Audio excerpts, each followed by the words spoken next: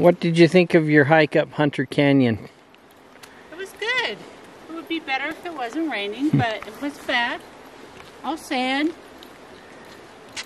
I think I liked it again because of the fact that it follows the creek. Yeah. It was fun crossing the river. It's beautiful.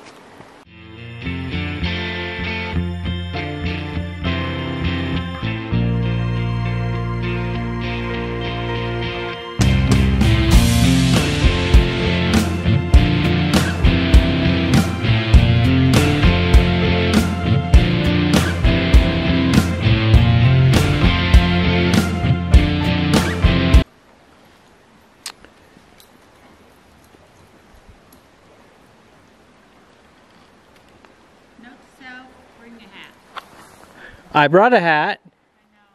Should have brought a hat.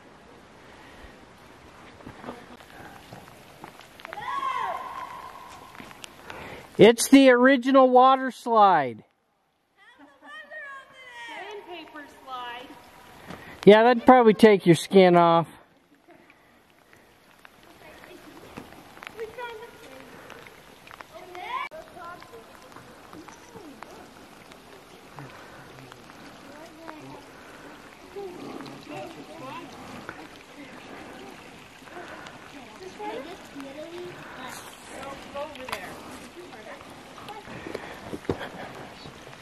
Beautiful.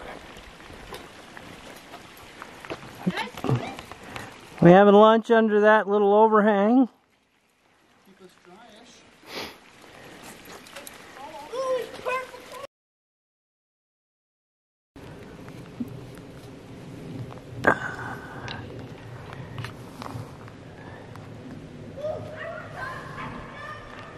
Oh, Dad!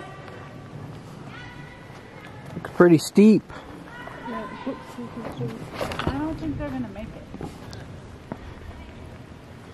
It looks like somebody stacked rocks there to make a fort.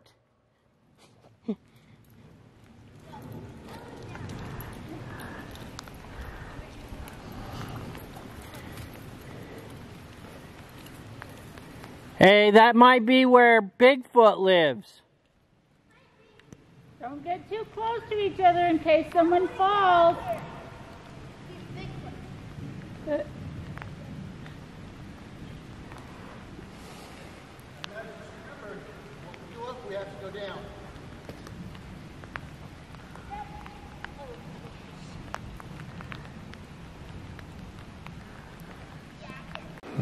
So Hunter Canyon follows the the bottom of this canyon.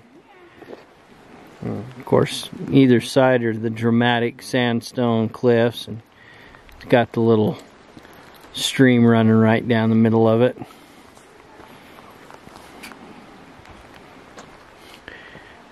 Rock climber's paradise if you were a rock climber.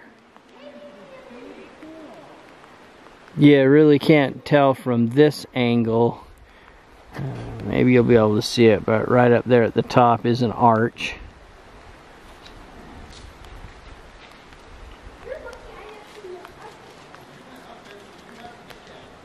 The Hunter Canyon Trailhead is located on Kane Creek Canyon Road, 7.5 miles west of its intersection with US 191.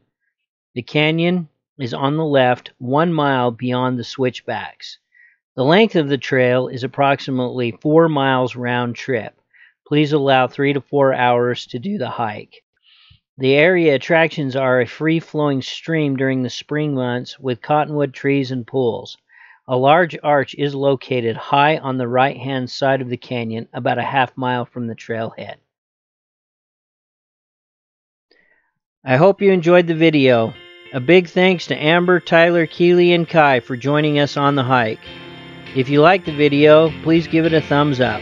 If you'd like to get to know us a little better and sharing our adventures, please subscribe. Thanks for watching.